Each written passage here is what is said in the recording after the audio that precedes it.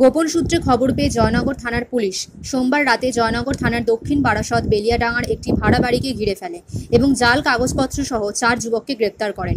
ধৃত ওই চার যুবকদের বিরুদ্ধে অভিযোগ, তারা কুলতলি, বকুলতলা, মগরাহাট, জীবনতলা সহ জেলার বিভিন্ন থানা এলাকায় বহু যুবককে রেলে চাকরি দেওয়ার নামে কয়েক লক্ষ টাকা প্রতারণা করেছে।